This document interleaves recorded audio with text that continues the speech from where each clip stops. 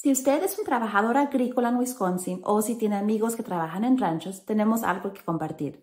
Yo soy Melissa. Y yo soy Mariam, y por dos años hemos reportado sobre los peligros que enfrentan los inmigrantes que trabajan en las granjas lecheras de Wisconsin.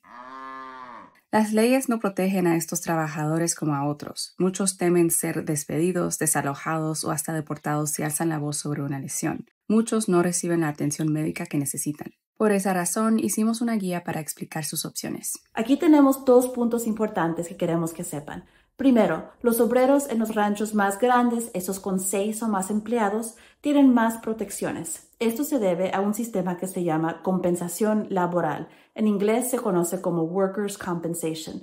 Usted tiene derecho a esto aunque sea indocumentado.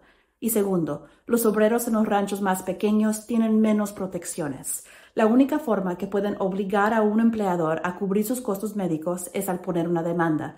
Estas demandas pueden ser extremadamente difíciles de ganar. Nuestra guía responde a preguntas que hemos recibido, incluyendo cómo conseguir tratamiento médico asequible, qué decirles a los proveedores médicos y qué pasa si rechazan su reclamo de compensación laboral.